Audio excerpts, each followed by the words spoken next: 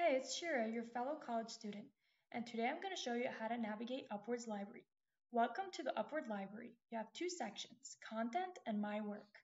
Content is where you'll add and manage the original documents that you have been assigned by your professors to read throughout your studies.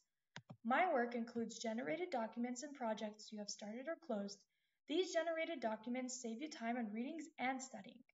On the left sidebar, you have the purple plus sign in which you can add content or start a research project.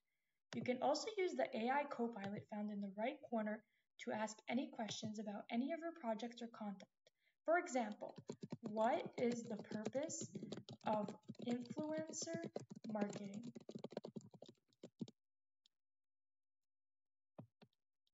And there you go, now you have an answer.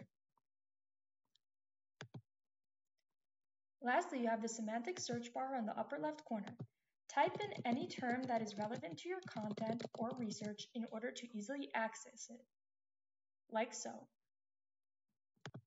Thank you for watching. Comment down below if you have any questions.